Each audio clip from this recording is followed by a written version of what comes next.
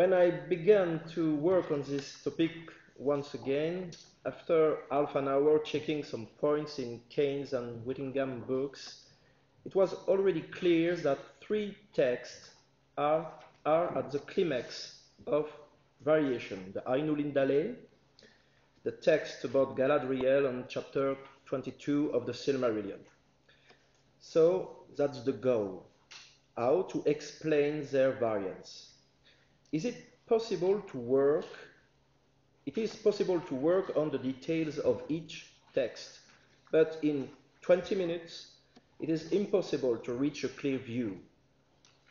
In the other hand, when making some reflection on how to sort the basis to explain what the Silmarillion, what the Silmarillion is to someone having only a few ideas about it, I realized that a few bases help to see that there is a kind of combinatory of the criteria of the variance for the three main problematical texts. So let's see the basis for such goals. The sentence of Hippocrates, translated by, translated by Chaucer, is well known, and Tolkien quoted it The life so short, the craft so long to learn. We can coin a kind of pastiche Tolkien published so little, so many texts to niggle. There was for long something like a rule in the Republic of Letters that a definitive edition is the last one published when the author was alive. One speaks of the dogma of the author's last will in authorial philology. There are such editions for The Hobbit, and The Lord of the Rings. But what about such a project as the Silmarillion? As Randel Helms put it as early in 1981, first quotation in the handbook, on doubt, when, as happened with the Silmarillion, a writer dies before finishing his work, his work and leaves more than one version of some of its parts, which then find publication elsewhere, which version will the critic approach as the real story? After the publication of the 12 volumes of the history of Middle-earth, we know that it is quite infantile to think that Silmarillion could have been composed with the last version of every text.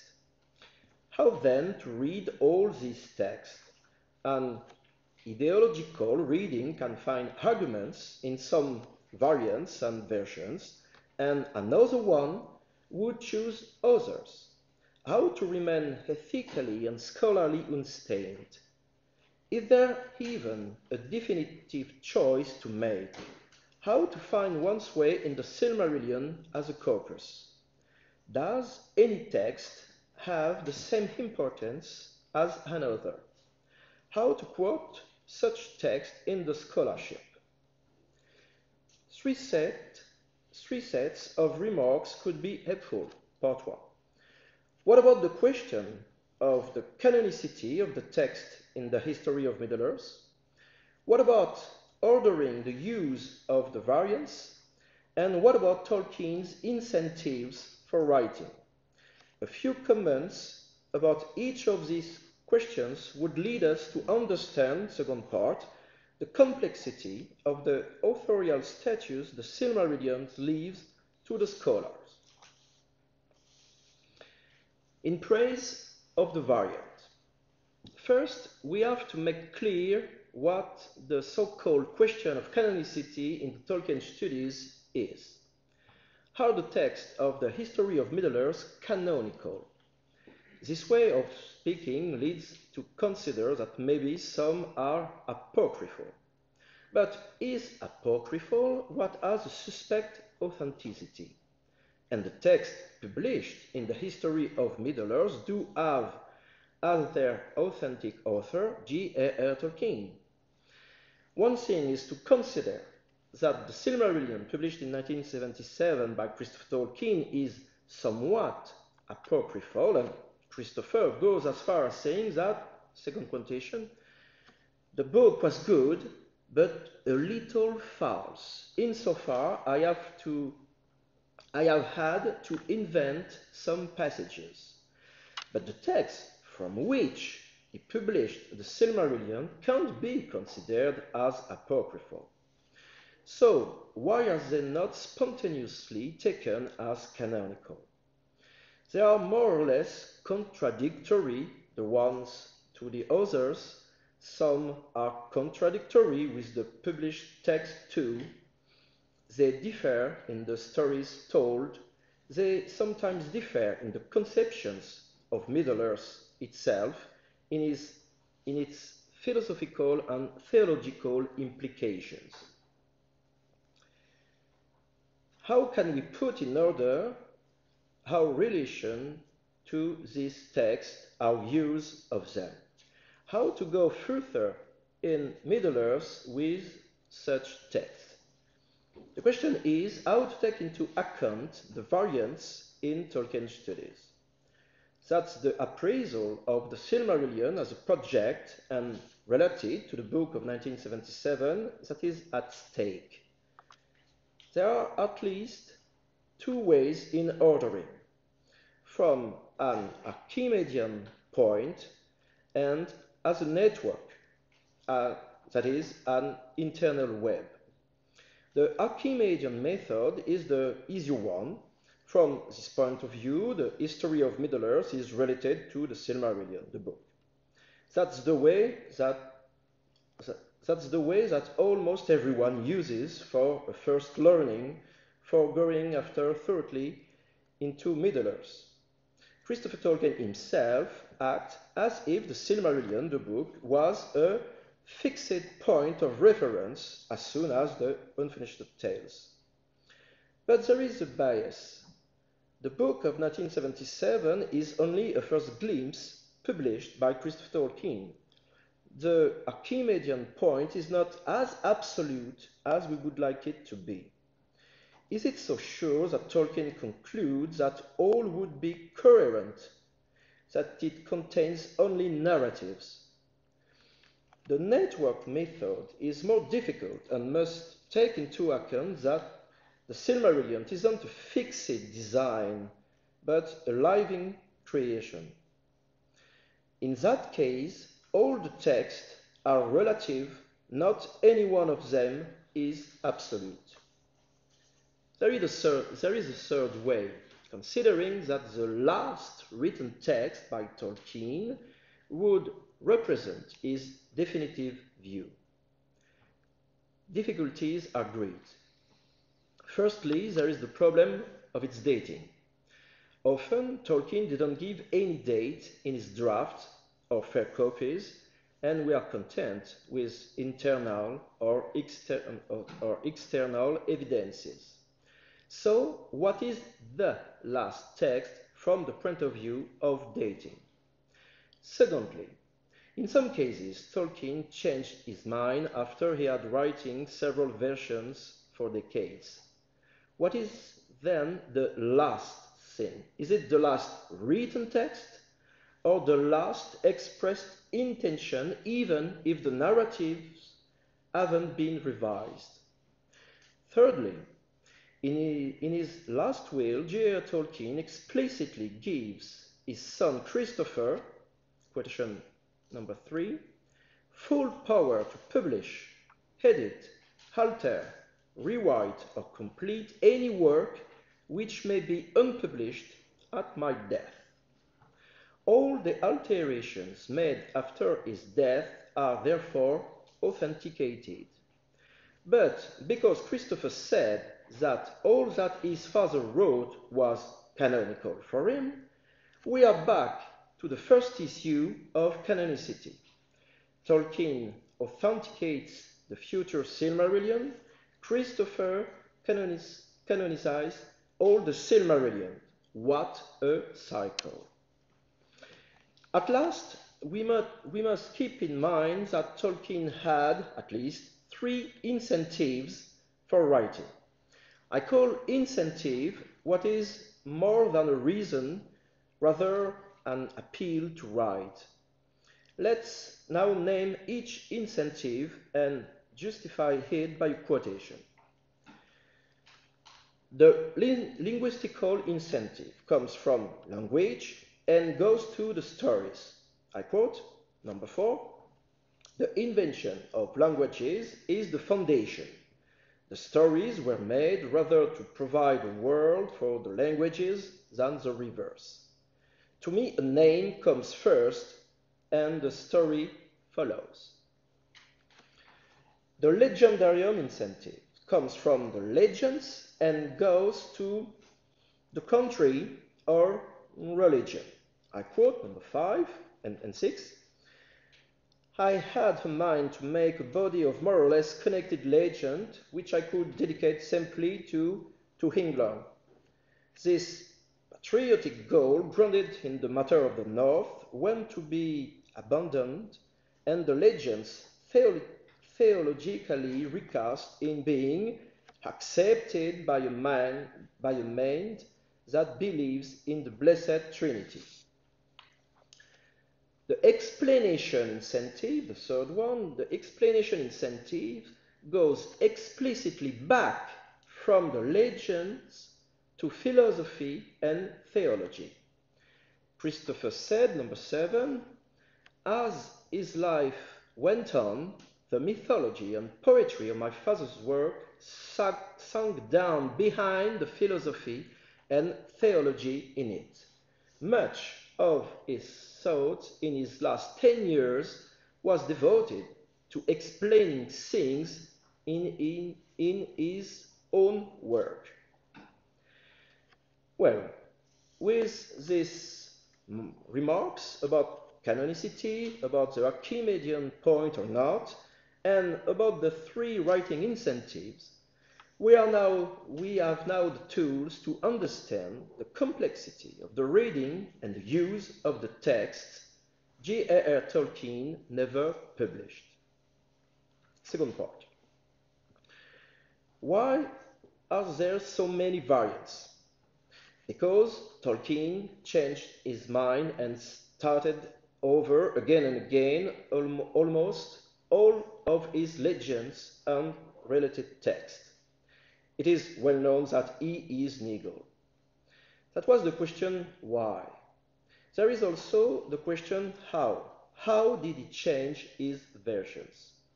Let's have a look at at that with the three paradigmatic examples that are the Ainulindale, opening the Silmarillion, but not the Book of Lost Tales, and which is outside the Quenta Silmarillion, the character of Galadriel, appearing, of course, in several chapters of the Silmarillion and of the Lord of the Rings, and the chapter 22 of the Silmarillion of the Ruins of Doriath.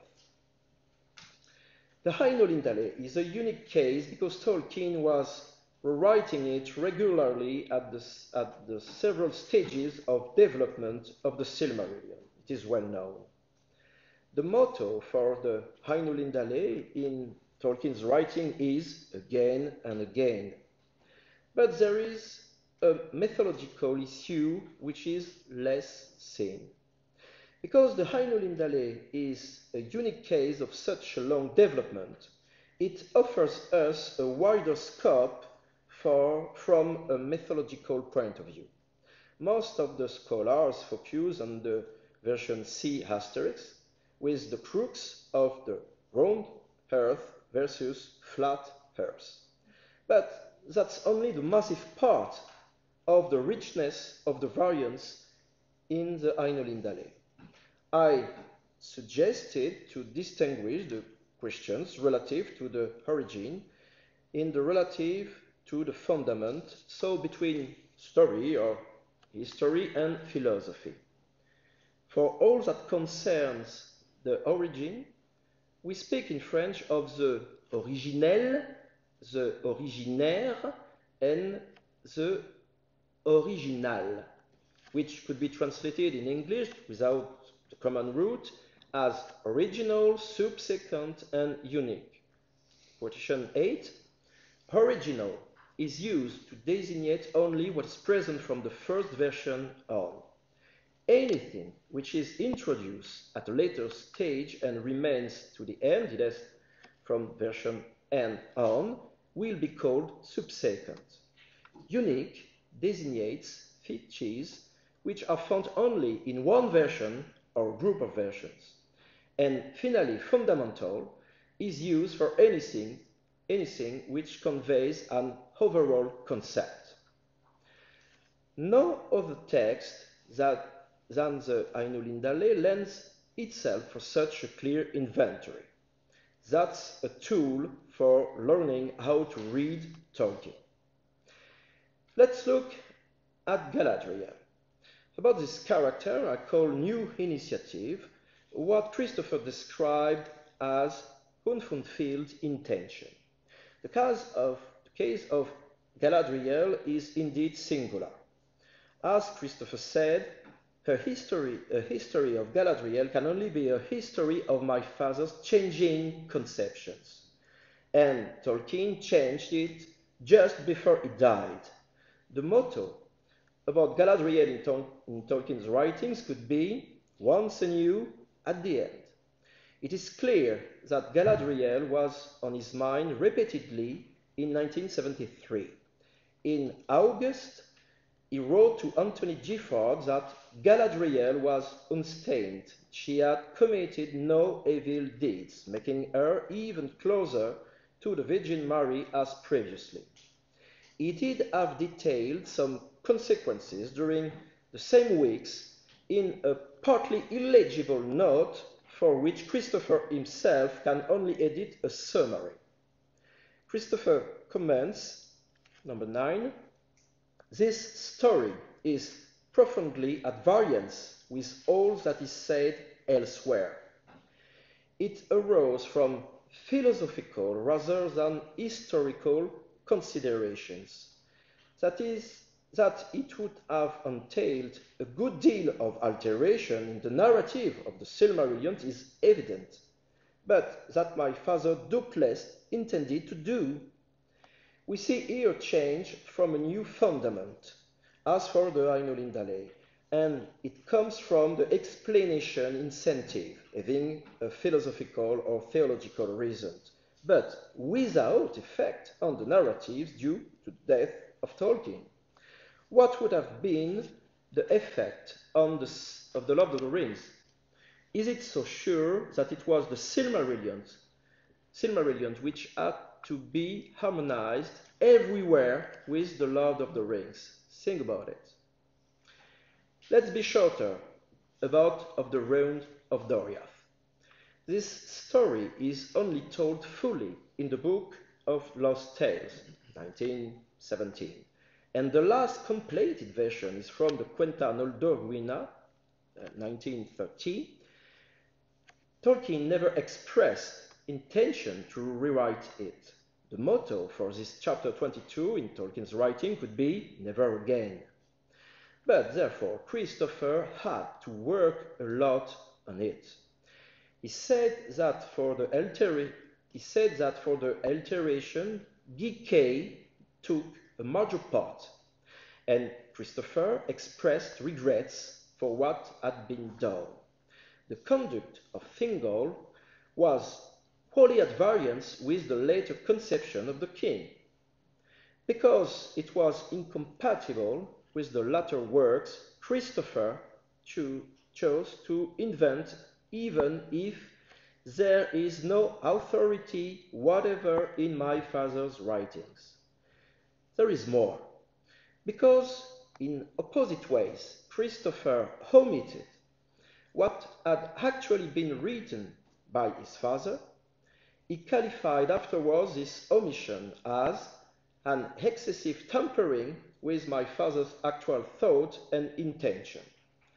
How heavy Christopher's alterations are, we are here at the level of radical changes in the narrative in the story, not at the philosophical nor theological level. Let's conclude. From the whole frame we just sketched, we can collect some conclusion. There is a table at the bottom of the handout. The, the Ainulindale varies and is reworked fundamentally from the explanation incentive point of view. All the variations concerning the origin, subsequent, and unique belong to the Silmarillion as a corpus without an Archimedean point. Tolkien took time to rewrite it. Written texts do exist. About Galadriel, the final alteration is understandable only from the explanation incentive 2. Tolkien expressed a last intention a last intention, even if there is no narrative newly produced. He had no time to do so. About of the Ruin of Doriath, we are at the level of the legendarium incentive. Tolkien didn't leave a last intention. There is no cohesive narrative with the corpus, even if he had time to do so. Finally, what about the authorial status? We can rely on two articles published in the, 19, in the 1920s by Marie-Dominique Chenu. Tolkien is what the Romans called an, in Latin, an auctor for the Silmarillion as a corpus. The sense of the word auctor in classical Latin was who takes the initiative and has the right to transmit something to someone else. It was like this that Tolkien was the author of the Silmarillion.